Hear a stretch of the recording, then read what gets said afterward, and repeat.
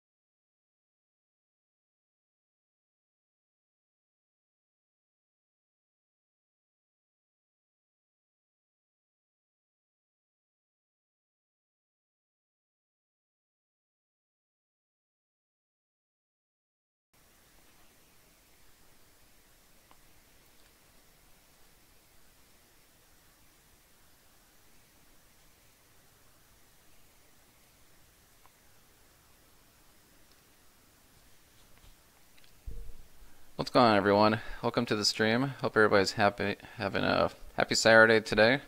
So the stream content today actually first do the channel update. So the big update is going to be the uh, Engineer Man Knowledge Center. That is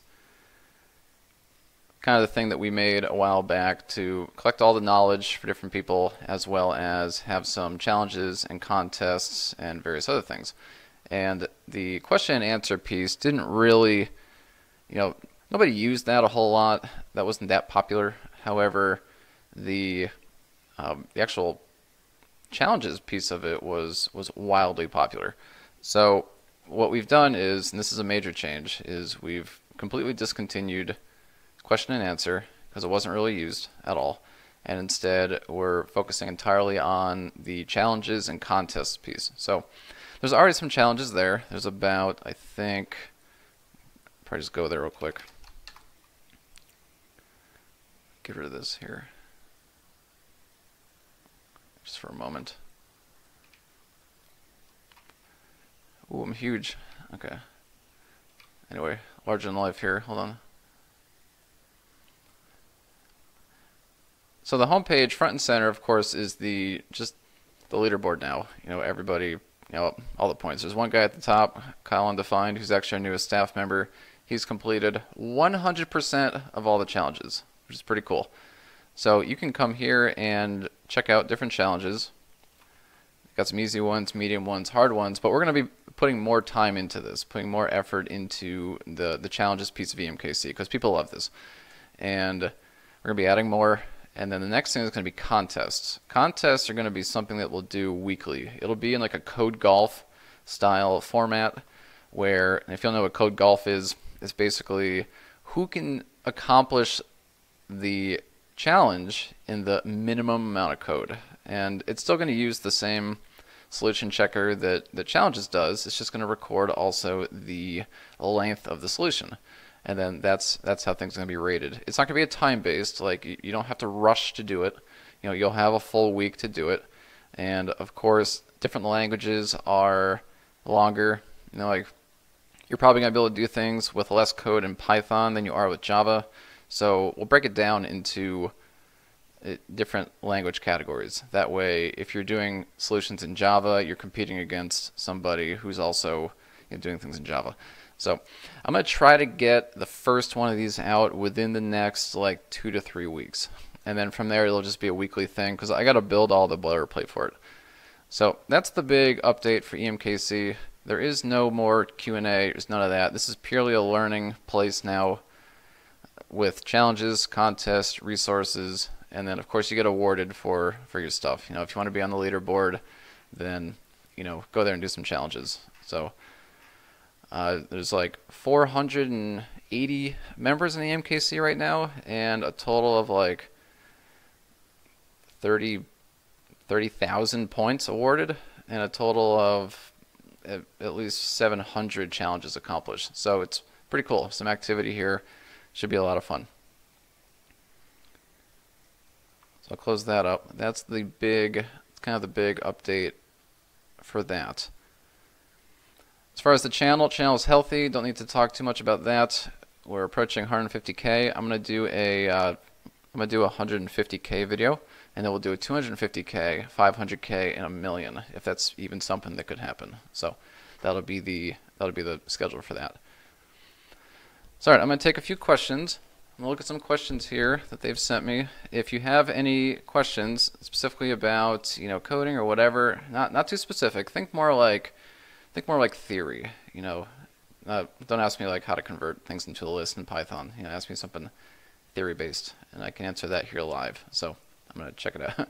oh, mouse update. Yeah, mouse update. So, the uh, the mouse is gone, uh, but so is my server and I haven't fixed it yet.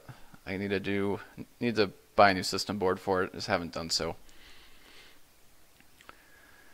Okay, how do I get Tama2? How do I get motivated to code? So the best way to get motivated to code is to kind of skip past the point of starting to code and look at kind of the end state. So the assumption is that if you're beginning a new project, you're doing it because you either want to learn, which is a benefit to yourself, or you're doing it because you want to help other people. That's probably also a benefit to yourself as well as a benefit to others. Or maybe you're doing it to better yourself professionally. You know, maybe your maybe your employer has said, "Hey, you should look at React," and then you want to do a React project. So you got to look at the end goal and say, you know, I'm gonna I'm gonna do I'm gonna put the effort in on this project and it's gonna get me X, Y, and Z reward. And then that that's how you can get motivated. And also learning, at least for me, like learning something new, that in itself is motivation.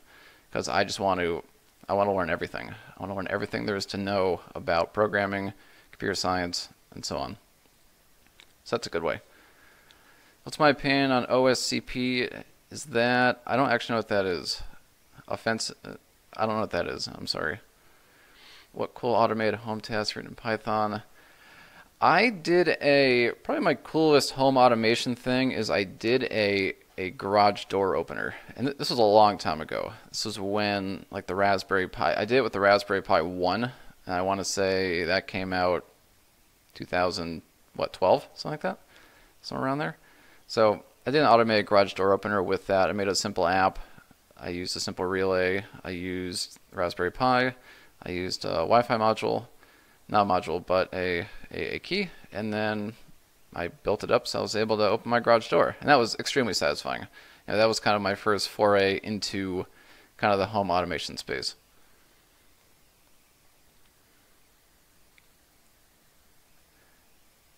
Uh, Blue Monk said, "Can I use a VM to practice Linux installations from scratch?" Absolutely. In, in fact, that's the best way to do it because when you're using a VM, you can't.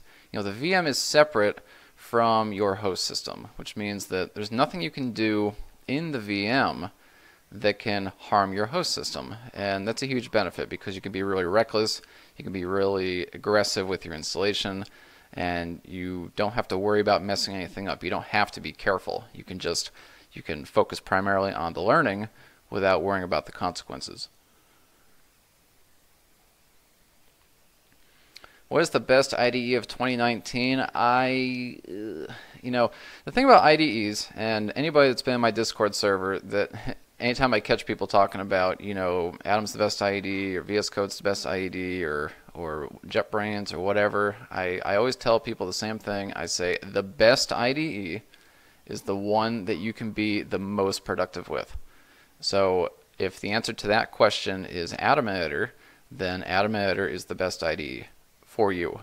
If VS Code is the one, then that's the best IDE for you. If you like JetBrains stuff, PyCharm, whatnot, fantastic. Yeah, some guy, Jeremy mentioned uh, Vim. Hey, if you can use Vim and be ultra productive, and that's the thing you know the best, then more power to you. That is, Vim would be the best IDE in that case. I am part of Team Atom, but hey, that's that's just me. That doesn't make it the best. Just makes it the best for me. Like I'm really good at Atom, and I'm not really good at VS Code. How do you do GPU pass through? I actually don't know. I've never never done that. I'm sorry, I can't answer that one. How is it different from HackerRank and Code? It I, I guess EMKC is just the place where if you want to be in the EMKC community and you want to do things where you're going up against your fellow, you know, community people, then that would be what sets it apart. But certainly, there's no, you know, EMKC is not doing anything special in the way of of challenges. Of course, you can find you can find challenges all over the place on the internet. Oh, French fruits. Python GUIs are tough. What is your go-to? PyQt, tkinter, or nothing? I I like so I like tkinter. I think it's lighter, and I also like if if I'm building certain. There's a thing called wxGlade, and that's a nifty way to build kind of GUI applications with with Python. But uh, tkinter is also fine too, and Py, PyQt, I mean, PyQt I would say is the most comprehensive because it's backed by Qt, which is which is fairly heavy. But so it's all like what you're wanting to accomplish. And then you know, certainly nothing could be an option as well. I mean, if uh, if your if your GUI can be serviced by like a terminal, like a TUI, like a terminal UI, then I, I suppose that'd be fine too. And thanks a lot for the 10 French fruits. I appreciate it. He's a longtime supporter. So thank you very much for that. Also good. Do more. Okay, good. Question. Where can I learn Linux? Okay, so I have a good PDF for that. I'm gonna post it later. Just somebody remind me on Discord. I have a I have a really cool like systems administrator PDF for for learning Linux, and it's one that I've read myself. It's really great. It teaches you a lot of the a lot of the basic terminal commands. I, I know I said systems administrator, but it reads more like a, a junior systems administrator, which kind of teaches you the basics of Linux. So if you remind me on Discord to get that for you, I will I will kick that PDF over to you. I, I don't I don't use Microsoft Azure. I, I host on Google Cloud Platform and I also host on DigitalOcean, which works for me. But it could, you know, I guess Azure's fine if you're doing Microsoft stuff.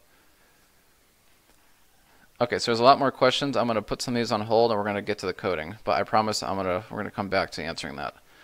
So, what are we coding today? We are coding, you know, so if you read the title, it says Everyday Python Programming. And it's it's important to understand what that means in the context of of what type of coding we're going to be doing. So I've had a lot of people, some of my friends, they they approach me and they say, you know, Brian, if I wanted to get involved in programming, you know, I have no programming skills. What what would I do? Like, what projects would I take on? And I always tell them, I say, what things do you do manually today? And they say, well, I, you know, I do some manual things, you know, for my job. You know, maybe I maybe I work in a legal office or something and I'm constantly going out to a site to get updated data, you know, or I'm crunching some numbers in a spreadsheet or I just hey Kevin, what's up man? Glad you could make it. You know, or I'm you know, or I'm I'm doing some, some particular task for uh, for whatever I'm doing. And so everyday programming is like, you know, what's the minimum amount of skills you need to learn to do something useful uh, that would help you out just as a normal person? So I picked two examples today that we're going to do that are applicable to pretty much everybody who works with a computer. Not necessarily not necessarily a programmer, just people that work with a computer. So we're going to be doing two things today. We're going to be processing vCard contacts from a export that came from Google Takeout, and then we're going to process some spreadsheet data that was in Google Sheets, but we want to pull it into Python to do some advanced kind of calculations on it. So that's that's the two things we're doing today. So you know, the first is the contacts. If if you don't know this, Google lets you export all of your data off of Google. And but the problem with that is it's not always in the here. I, I won't blind people. Uh, but it's not always in the most consumable format. So in this case, for the contacts, you know, when you export your contacts through Google Takeout, what you get is you get a VCF file, and it's a it's a vCard file, and there are plenty of things on the internet that will that will consume vCard information. It's just what if you come across the one place that does not? You know, what what is your solution now? Do you just manually do all this? You know, do you just one by one, you know, take the name, copy it in, take the email, copy it in, go to the next one, and then what do you just do that a thousand times? Like that's that's ridiculous. You know, why would you do that?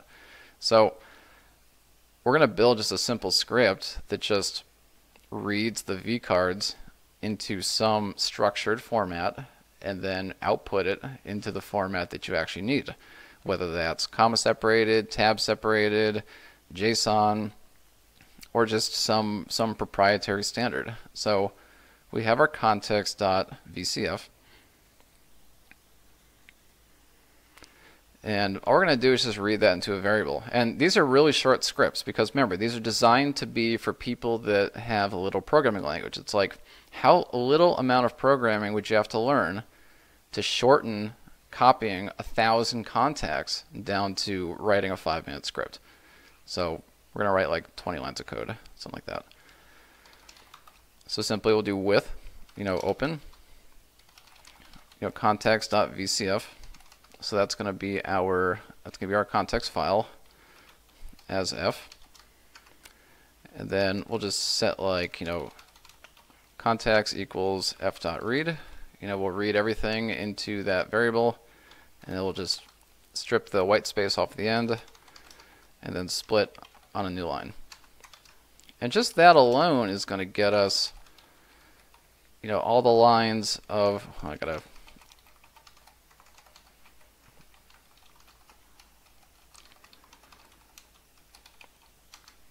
So you can see that gets us a that gets us a list of all the elements that are that are in the vCard. Now this itself is not useful, but you know here in a moment it's it's going to be useful.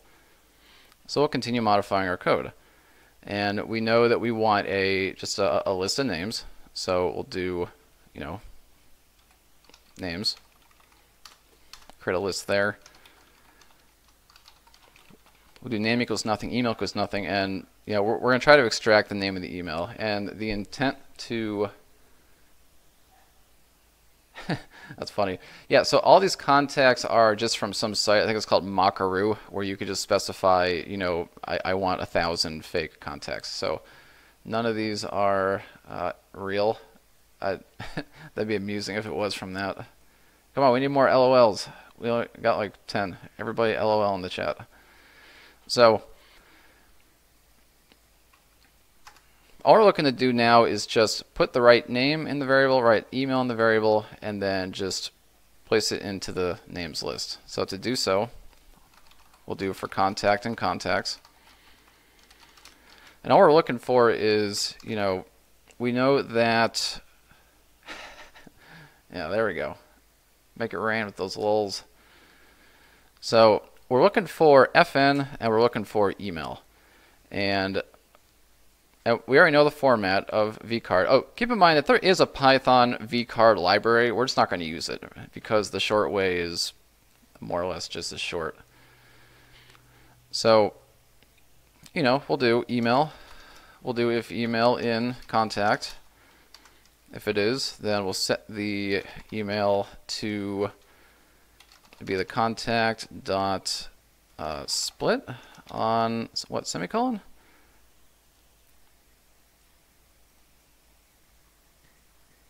No, colon, colon, yeah, colon, and then we'll take the last one. So that should give us the email if fn in contact, then we'll do name equals contact dot split, and then for the con for the fn, it's going to be everything after the colon again. And we'll take the last element. And then we just have to check that if we're at the end of the vcard. So each one is like begin vcard, version, fn, and then end V card. So this is one this is one V card. You know, and then second V card, third V card, and so on. So we're just looking for end V card as the boundary. So we'll do if, you know, contact equals and vcard. Then we got to do two things. One is append the, what would it be? And, and this is where we're going to append whatever the format is. So maybe we want it in comma separated. So we'll do brace, comma, brace, dot format, name, email. So let's check our code.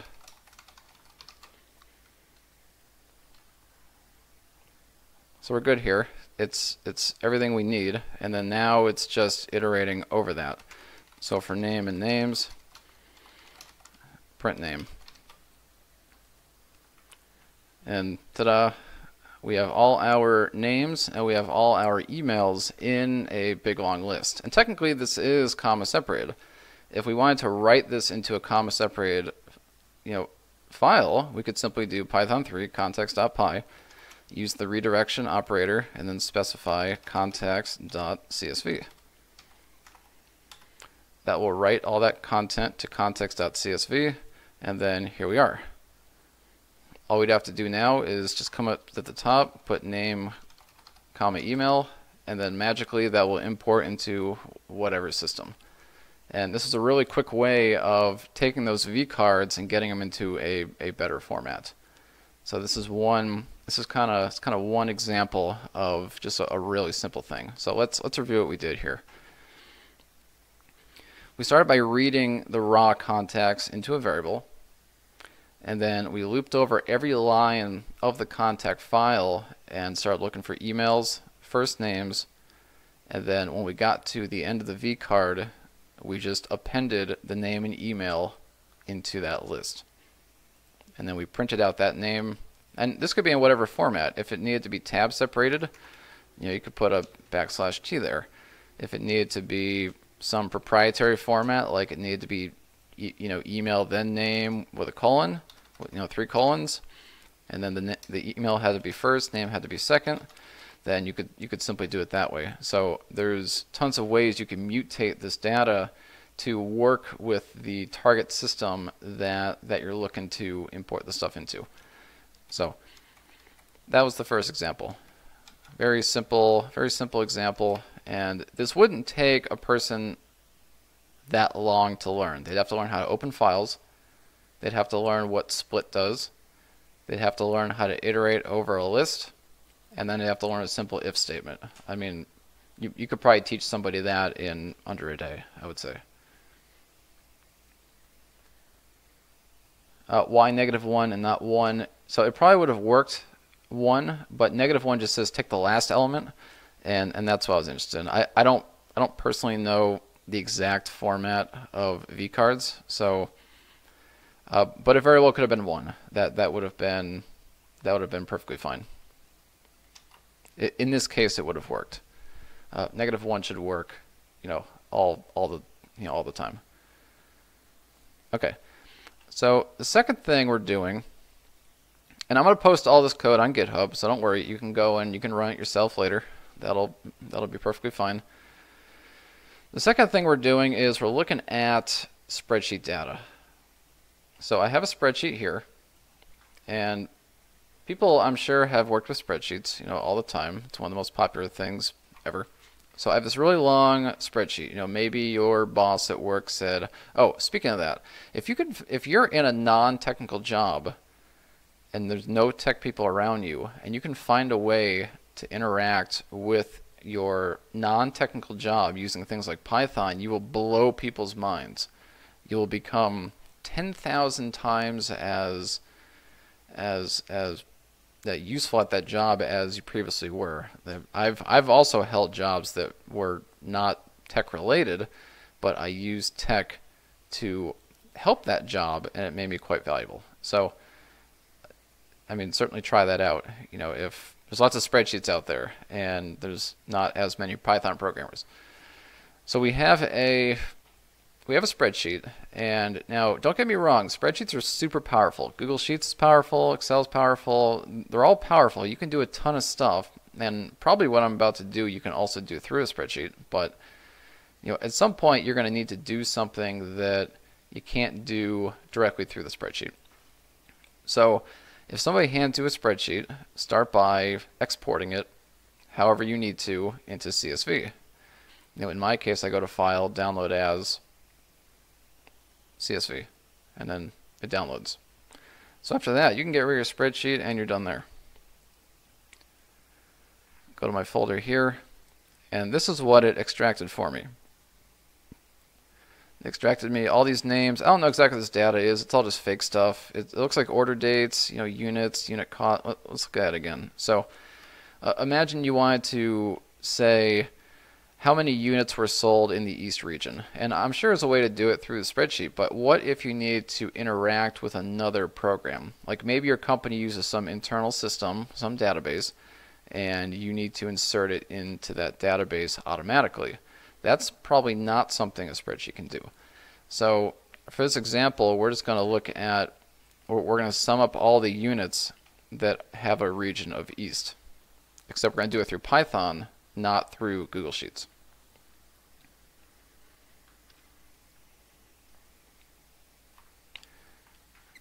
So we have our data here, and we need to get this into a format that, that works well. So Python, right off the bat, Python has a CSV module. So you don't have to reinvent the wheel on that. You simply do import CSV, and you're good to go. Uh, now you can use the facilities that are made available by the CSV module to kind of make that work. So it's very simple. So you can you can pull things into Python in one of two ways. You can pull it in either as a as a list or as a ordered uh, ordered dictionary. And of course, ordered dictionary is easier because it lets you reference things like order date. You can subscript your you know dictionary with order date, region, rep, item, and that yeah, automate your coworkers out of a job. Don't do that. That's gonna piss people off uh, or or maybe you want to. I don't know. That's up to you, I guess. The so we'll start by well, we could do both examples. So we'll do with open data.csv as f, and then we'll do rows equals csv. So csv dot. There's two things here. There's a reader and coworker.py. Yeah, that's fantastic. We're, we're gonna come back to that. That's amazing. So there's two things here. There's CSV dot reader and there's CSV dot dict reader. So, you know, one is reader, F, and then the other one is dict reader. And each of these, one reads the, you know, one reads it as a list, one reads it as a dictionary, and then you can use whichever you want. Today we'll do the dictionary version. And then we're going to do rows row for row and rows just to get it into a normal list. That we can close the file. So right now our rows should be a list of dictionaries, a list of ordered dictionaries, I should say. So Python 3, uh, what's this called? Data, data, py? Yeah, so here it is. So you can see that there's one there's one ordered dictionary here and it has the information that you need. So, but this is all in the right format. This this is what we need.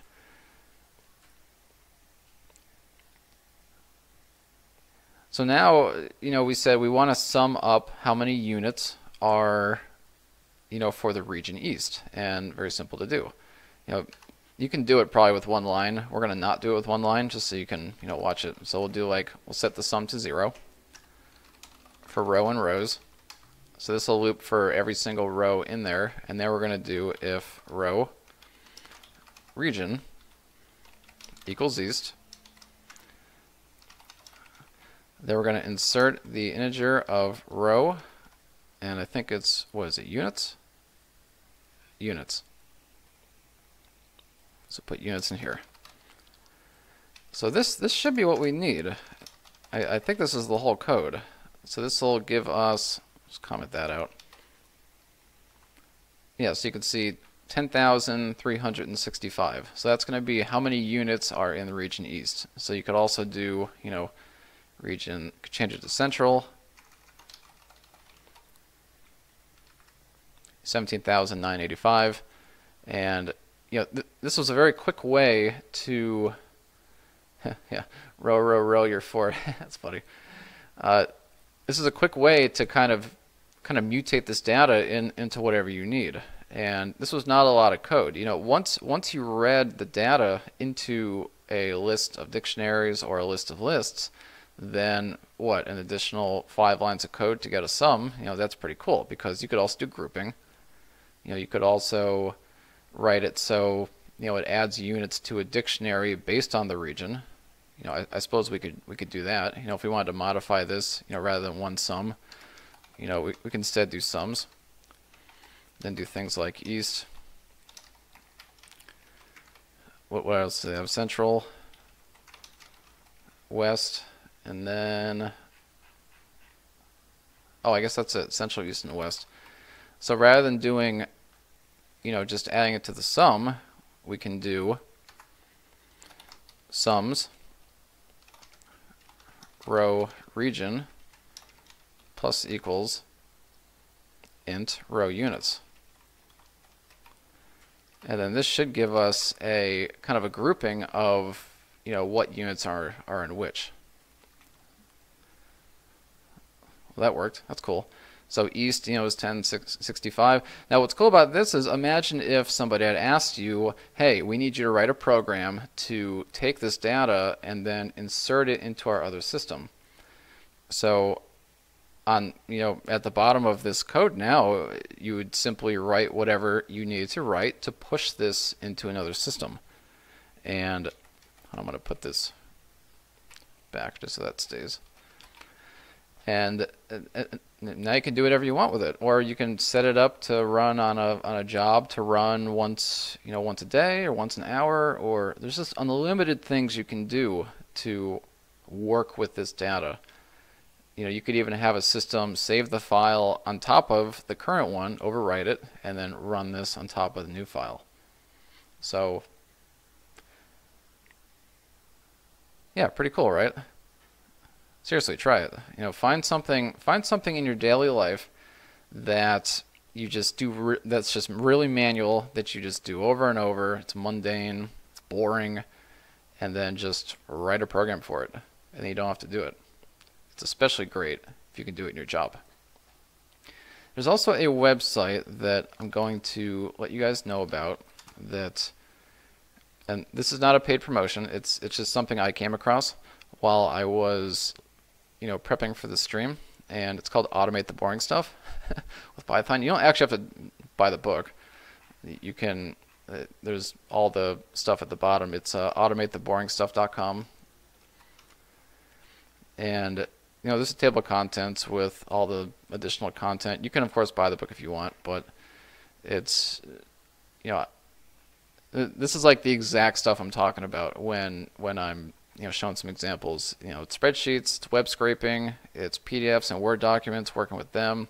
You know, scheduling tasks, launching programs, sending email and text, manipulating images, and then CSV files and JSON data. You know, like that's when I think of boring stuff and I think of easy things to automate, mon, you know, potentially mundane tasks, like that's the stuff that I'm referring to.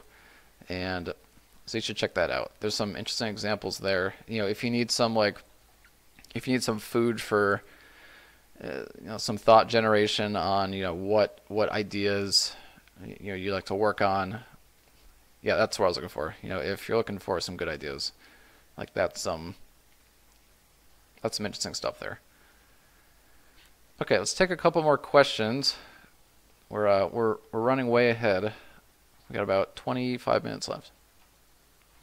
I'm gonna go. I'm gonna go back to questions.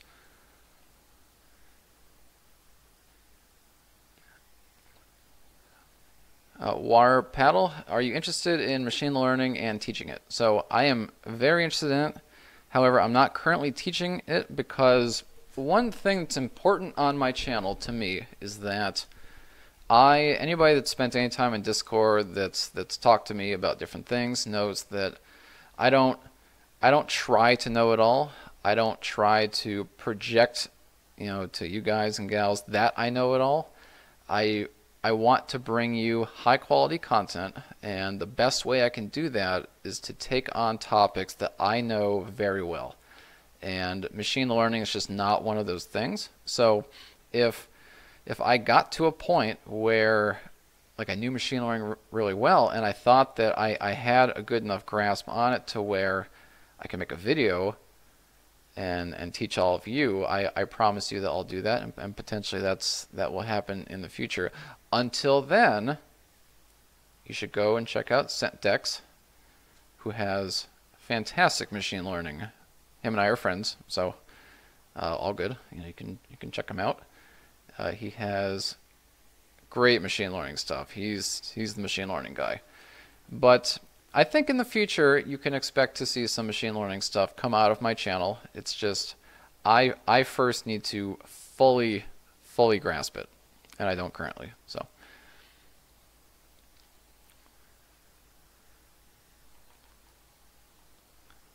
Let's see, where can I? Oh, I already did that one.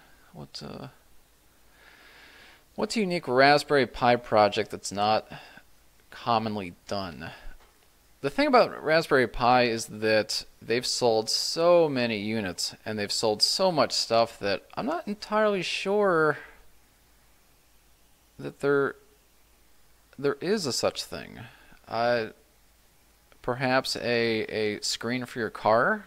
You could attach like a five inch screen to it. You know, maybe that'd be something.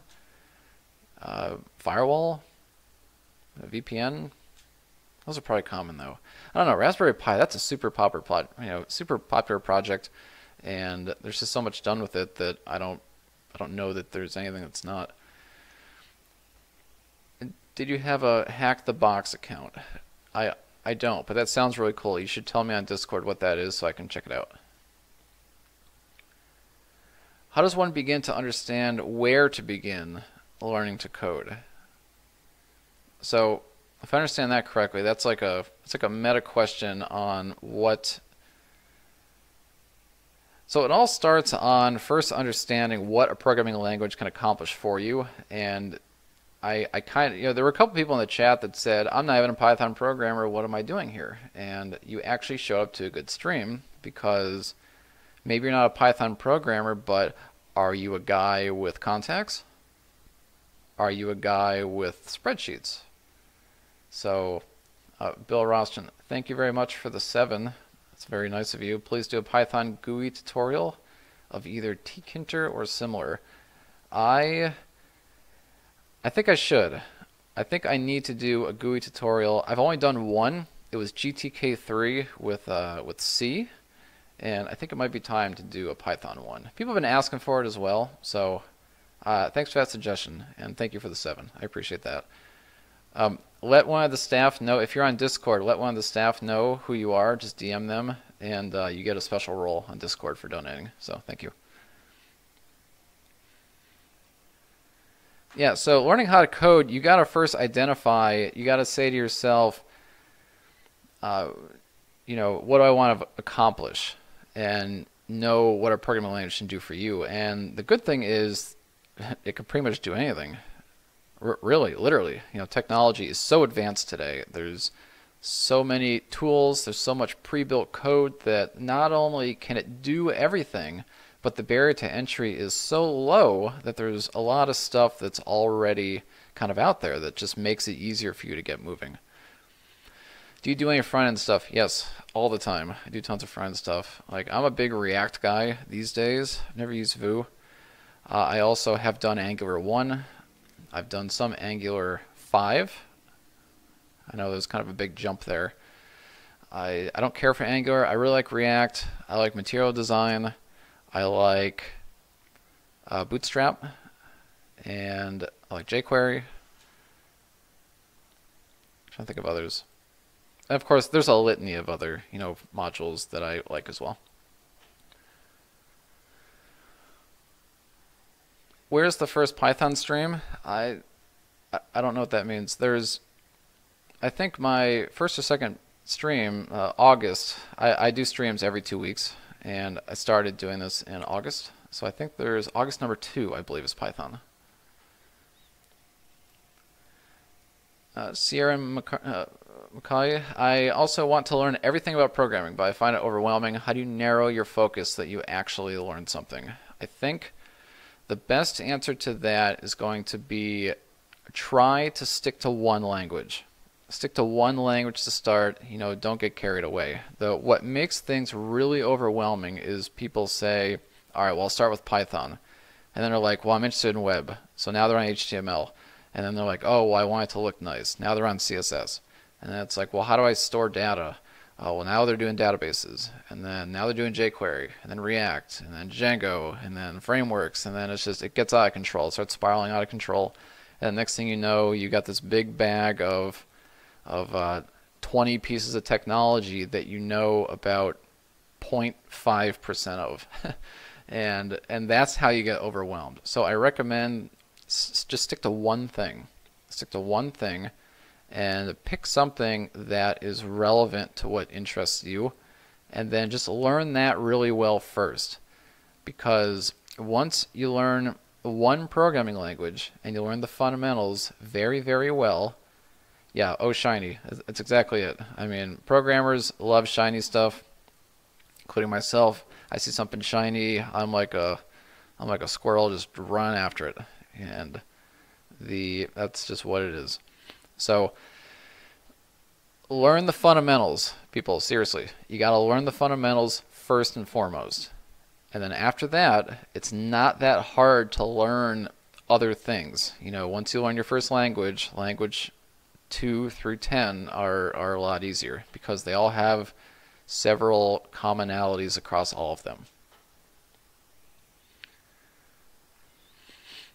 I learned Python in Internet blog. Okay, when I learned Python in the Internet blog, sometimes it's in 2.0 and sometimes it's in 3.0. Where could I get to learn Python? Uh, oh, where can you learn Python? So Codecademy is one option you can, of course, learn Python from my channel, and then you can learn Python. I, recommend you watch a lot of videos. Like, don't just watch mine. You know, don't just watch Sentdex's. Don't just watch whoever. You know, watch everybody's because everybody's going to teach it differently, and you need to hear it from several people because we're all like, I'm not going to be the best at explaining something, and uh, you know, other YouTubers may not be good either. So you have to, you got to take it all in you got to take a bunch of different content authors, all their videos, take it all in, and just take the parts that make sense to you from each. I'm a web programmer, PHP and JavaScript, who's also becoming gradually more comfortable in Bash. I'd like to get more into scripting and automation work. So if you just want if you want to get into just general programming, like system type programming, then Python is a, a fantastic option. If you're going to be working primarily on Linux systems, then it's going to be important that you know Bash, which is a Bourne again shell, and it's also a full fledged programming language, or has, I want to make sure I'm, I'm clear here. So it's it has constructs that are similar to other programming languages, but you can do most things, or you can leverage tools that are common to Linux to accomplish most things. So in short, TLDR, I would say Python and Bash. I would like to learn about virtual environments in Python. Can you cover that in the videos? Uh, if I if I find a way to sneak that in, I will. I'll definitely do that. I don't think I've ever covered virtual env, but I probably should. Uh, will you do a tkinter chart? Yes. Uh, hey, man. Uh, oh, that's a good question. Vado, uh, Vado, sorry if I'm pronouncing it wrong. Hey, E-Man, I'm doing more and more JS. Recently, I want to get deep understanding of JavaScript. I was thinking of reading MDN, Web Docs, try to check out V8. What would you recommend? So, I don't think it's necessary to read the V8 code because that's C++ and that's the JavaScript interpreter. That's probably not necessary. Reading the V8 code and understanding how that works is probably not going to make you a better JavaScript programmer. So, however, the MDN is fantastic. You know, that's the that's the single source documentation for JavaScript. I, I've personally read that entire site, the entire thing, everything on it that relates to JavaScript. So I would certainly read that. It's and it's not that hard to read. You know, there's built-in objects for JavaScript. You're going to want to know each of those very, you know, very closely, and then you're going to want to understand all the syntax. So, yeah, if you want a full, comprehensive, deep understanding of JavaScript, you'll want to read the MDN from front to back. Everything that relates to ECMAScript 6 and beyond.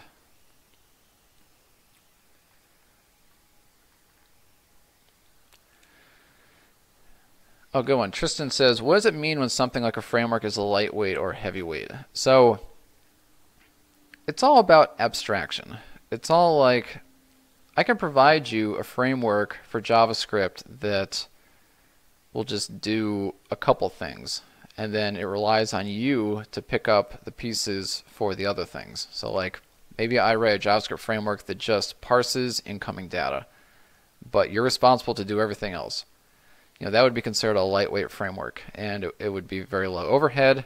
You wouldn't take a huge performance hit to use it, but it's also not that useful. So on the opposite end of the spectrum, you can find really heavyweight frameworks that that define everything that are hundreds of thousands, if not you know a million lines of code, but they are extremely comprehensive. They do everything. They offer you the most feature sets However, you are going to get some inefficiencies with that. Heavyweight software does come at a cost. That that's just what it is. You know, if there was there's there's just no such silver bullet as super duper fast and efficient and comprehensive. It just doesn't work that way.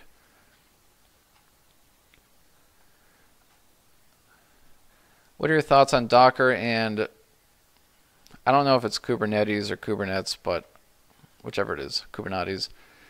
The I I love Docker.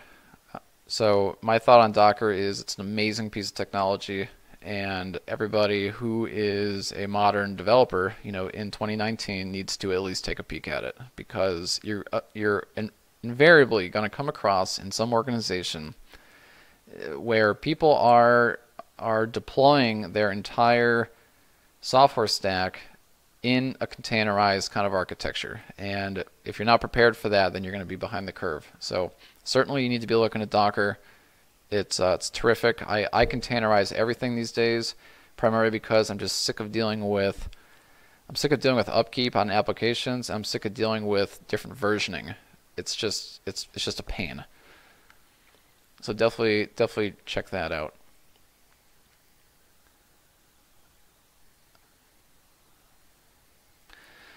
Should I learn? Okay, Alpha Pictures said, should I learn Python or Java as a beginner? So, back in nine, back in 1990, hey, thanks a lot, thanks a lot for the for the five, love from Wales, MAGA, nice, cool, thanks a lot, appreciate that, thanks for the support. If you're not on, uh, I know you have that K, that looks like Karen's K, but if you're not, if you're on Discord and you don't have the uh, if you don't have the supporter role, please let one of my staff know on Discord and they'll get you hooked up. Should you learn Python or Java as a beginner? So when I started out, I learned, I know everyone's going to laugh at me, laugh at me in the chat, it's okay. I learned PHP as kind of my first major language.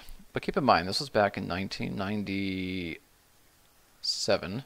This would have been PHP 3, maybe 4, can't remember exactly and I I felt like that harmed me in the long run because my first that's right, get the lulls going, get a get a lulls train going.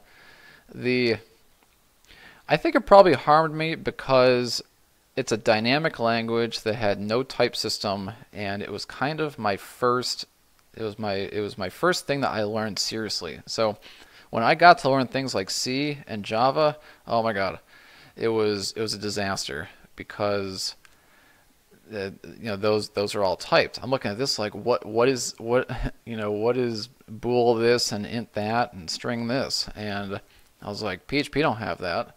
I never learned this. I wasn't I wasn't prepared for this. So I yeah I felt kind of disadvantaged. So I, I guess my answer is you should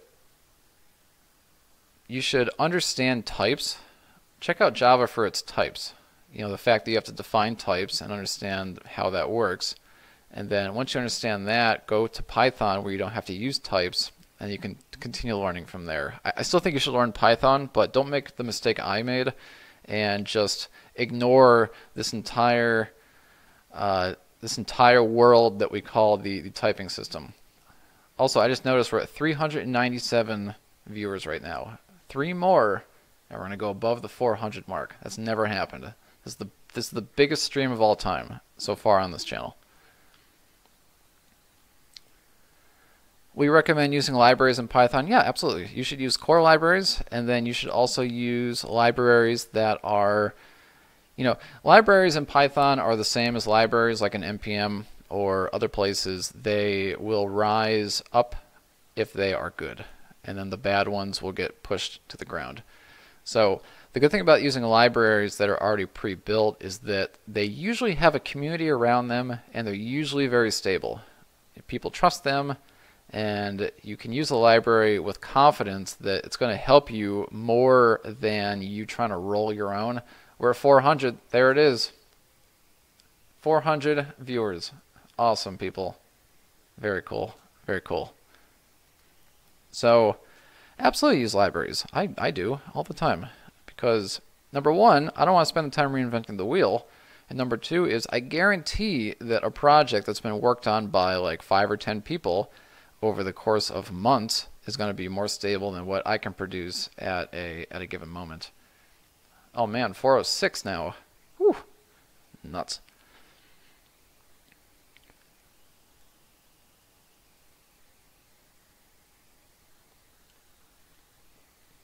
Why don't you use contact that starts with? Uh, I guess I could have. Yeah, I guess I could have. I, I don't know. I just all, all this code, I'm you know I'm, I'm kind of coding all this live. I'm just kind of doing what comes to me in the moment. But yeah, context starts with would have been perfectly fine. How to display data from a database to a web page one by one. You so getting data from a database to a web page is really just making a query for that data and then once the data comes back into your application you can prep the data in the way you want and then you can pass it to some sort of template renderer. And then in that template renderer, you can usually do a for loop on your data, which you can display row by row. And that's, that's more or less what it would do.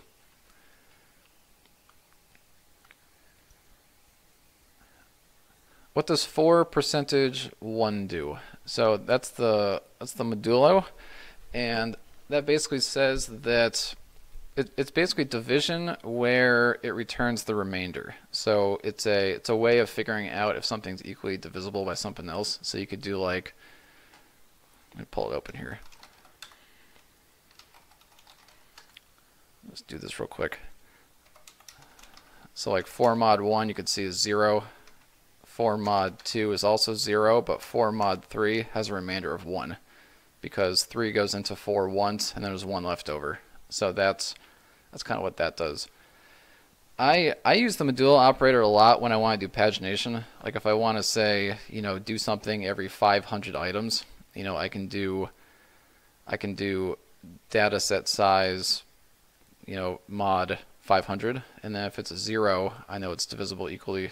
Actually, I'm sorry, I messed that up. Uh, trying to think what I would actually do. Yeah, well, you can use that for pagination. I, I can't think of an exact example in my head at the moment.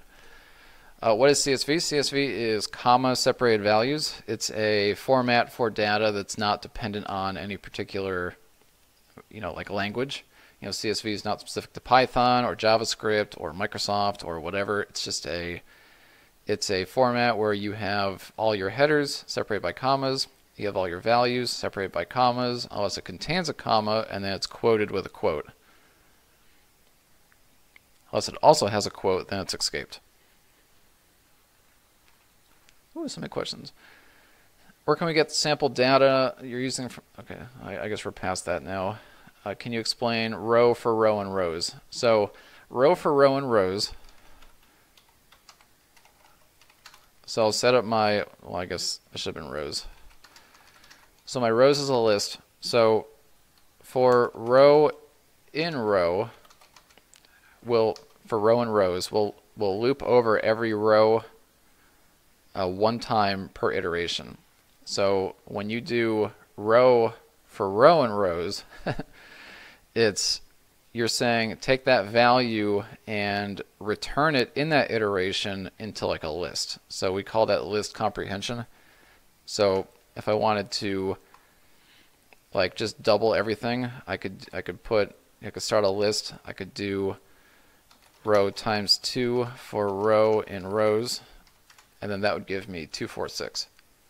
So row for row probably seems weird, but you got to remember that the first part is kind of the thing that will be returned. So I could specify things like, you know, times two or times three or, or whatever. Lots of questions. Okay, I'm going to try to get through these questions. We've got about five minutes left.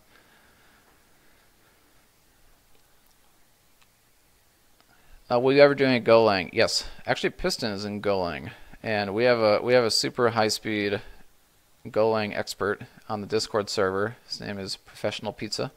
He's uh, he's the best best Go programmer I've ever met. So uh, if you guys have any Go problems, post in the well not not not problems. You know he's he's he's a smart guy. So you gotta you gotta give him smart questions. You gotta make the questions match the person. So if you want to if you have any Go theory you want to talk about, you can uh, you can definitely check it out there. Uh, probably other languages, the best place for that. We have more Python videos on your channel. So I've been doing a lot of Linux lately. Probably when I'm done with Linux, I'm going to circle back to Python. So that'll be good. So if you're if you're missing a lot of the Python videos, then know that they're they're coming back soon. Have I ever used Django personally? No, I've not. I, I don't do a ton of like I don't do any any web based Python programming. All I only do I only do systems stuff in Python. So yeah, I just don't do any web stuff that, that's related to that.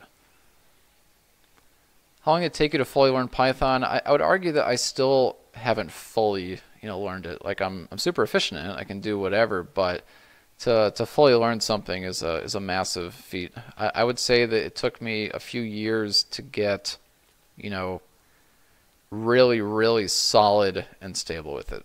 So, a couple years.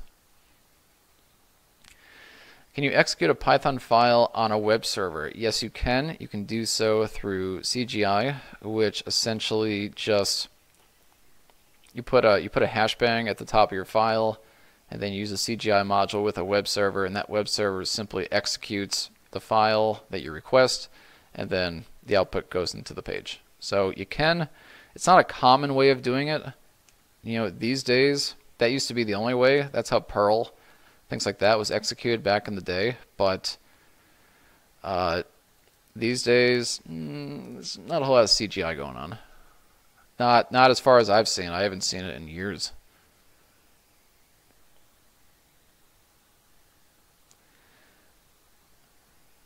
Uh, oh, sorry, I, I totally missed the supported question board. My bad. I'm assuming you can implement somehow actual files.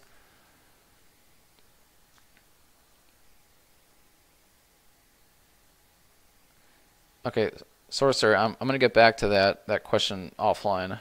I, I'm not sure how to answer that here on stream, so I'll definitely check that out. Yep, I see it, I see it. You think Python? No, Alexander Prusak. Do you think Python is a noob's language?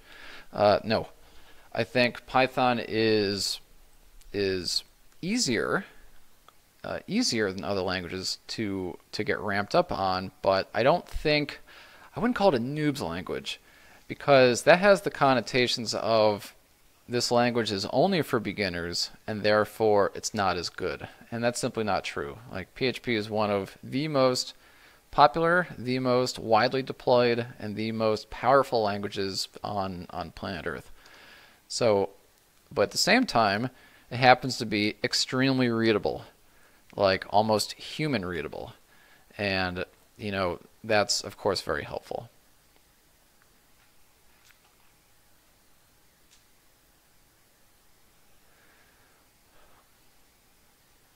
Let's see. I'm learning C. I'm learning C++ right now, but kind of hard. What do you think? Should keep with it or do Pi or something? Uh, that was by Bad Ash.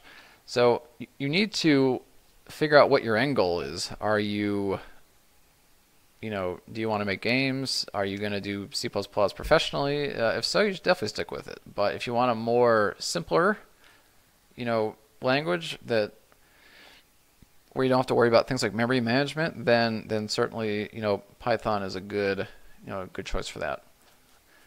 Okay, one more question, and then we're gonna wrap it up. language. Okay, I'm gonna answer this one. Sick boy said, Guido has left Python. Do you think this language still has a future? I, that's a good question. That's a fantastic question, actually.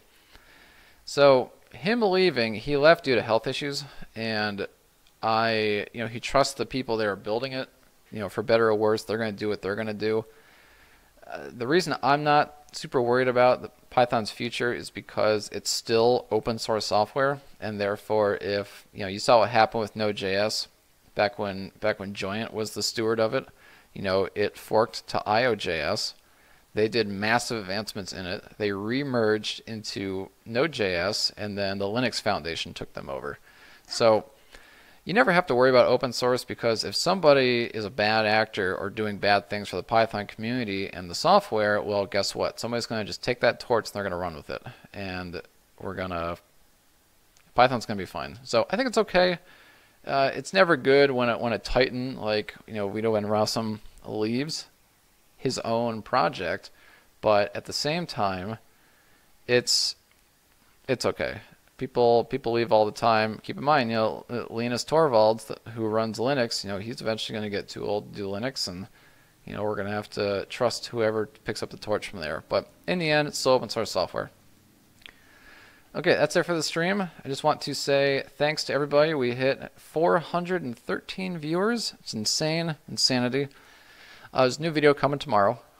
I I don't know the exact topic yet, but there'll be one tomorrow. And then you should check out. There's a link in the chat right now to check out Discord. There's a there's a fantastic Discord server operated by myself and my team, and people are chatting with everybody every day. There's tons of learning going on. It's tightly integrated with EMKC, and I think you'll find that out of all the servers you're going to be on, it's the it's the best managed one, it's the best curated one, it's the one with the least nonsense, and there's a globally diverse audience of different countries, different skills, different time zones, people that like different things. So there's a there's a wide variety. There's like 4,000 people on there, of which probably 10 to 15 percent are active. So uh, it's a good place to be. If you're not there, there's a link right there, discord.gg slash engineerman, or you can go to engineerman.org slash discord. Either one works fine. That's it for the stream. Uh, within the next half hour, I will post all of this code to GitHub, so you can check it out if you want to run it offline. But other than that, uh, thank you so much for coming to the stream. Thank you so much to the supporters, you know, who who flipped me a few bucks. I really appreciate that. It means a lot to me. I don't uh, I don't usually I don't ask for any donations ever. So when people you know feel feel like they they want to you know give, that's that means a lot to me. And then uh, thanks to all the regulars, I see a lot of the same names every two weeks showing up to the streams. That's that's fantastic. So thank you uh, to all those people that uh, that continue to come and and support the channel. You know with their with their presence. You know it, I'm sure it means a lot to other people as well. And I think that's it. I will. I'm on Discord all the time, so if you need to get in contact with me, just you know shoot me a message there. Other than that, have a fantastic rest of your weekend. Check out the video tomorrow, and I will see you on the stream two weeks from now, noon, and uh, we'll get back to it. Everybody, take care. Have a good one.